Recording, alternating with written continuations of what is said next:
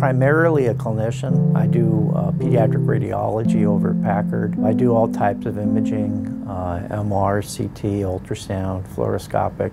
I work over at Packard, though my office is in Stanford Hospitals, and that's about three quarters of a mile one way. And then the Clark Center is another three quarters of a mile. So I can, I can easily walk five or six miles a day on dress shoes. I applied for this particular grant uh, three times, the first submission and then two revisions.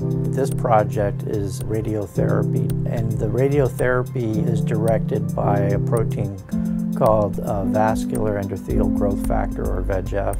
And that VEGF receptor is almost exclusively expressed in tumors and nowhere else. So it's a good way to localize radioactivity.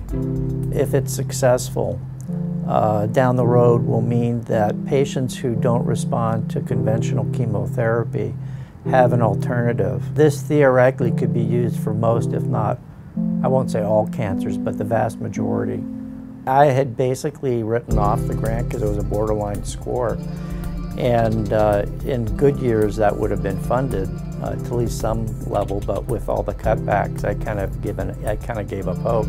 I found out about the grant through a phone call, and I was just shocked. I mean, it was took it took about a month uh, before it settled in. I kept on pinching myself and said, "Did I imagine that phone call?"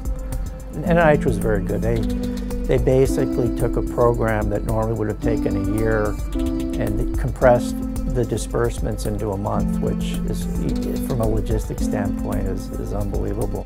For me, it basically allows me to keep on doing my research. Uh, without that money, I wouldn't be able to retain uh, Zoya Levashova, who been with, has been with me for four years, and I wouldn't be able to hire Helen D'Arceuil, who now has just started uh, several months ago.